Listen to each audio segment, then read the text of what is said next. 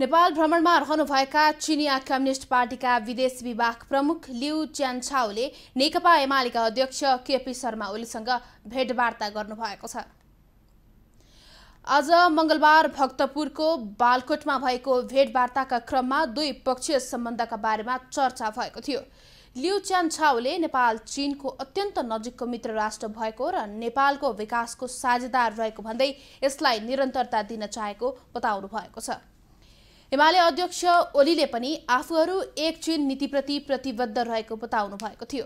नेपालबाट चीन विरोधी कुनै पनि गतिविधि नहुने समेत ओलीले बताउनु भएको एमाले नेता डाक्टर राजन भट्टराईले जानकारी दिनुभयो।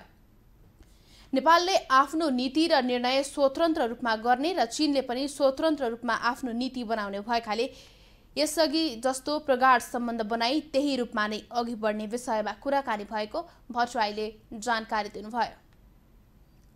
चिनले नेपाललाई अत्यन्त नजिकको मित्र राष्ट्र र उसले हिजोदेखि नै हामीलाई जुन हाम्रो विकासको साझेदार एउटा महत्त्वपूर्ण र भरपर्दो साझेदार मुलुकका रूपमा रहँदै आएको र त्यसलाई निरन्तर रूपमा अगाडि बढाउन चाहेको कुरा चिनका तर्फबाट राख्नुभएको छ भने नेपालका तर्फबाट हामीले जुन विगतदेखि नै लिँदै आएको चिनप्रति एक चिन नीति एक चिनको नीति र सँगसँगै नेपाली भूभाग चिनिया वा अरू कुनै पनि राष्ट्रका मैत्री मित्र राष्ट्रका विरुद्ध प्रयोग हुन नदिने हाम्रो जुन पुरानो प्रतिबद्धता हो त्यो प्रतिबद्धतामा नेकपा एमाले प्रतिबद्ध छ र त्यसलाई निरन्तर रूपमा हामी अगाडि बढाउन चाहन्छौँ भन्ने कुरा चाहिँ हाम्रो अध्यक्षका तर्फबाट उहाँले राख्नुभयो। नेता लिउ चार दिन भ्रमणका लागि आइतबार नेपाल आउनुभएको हो।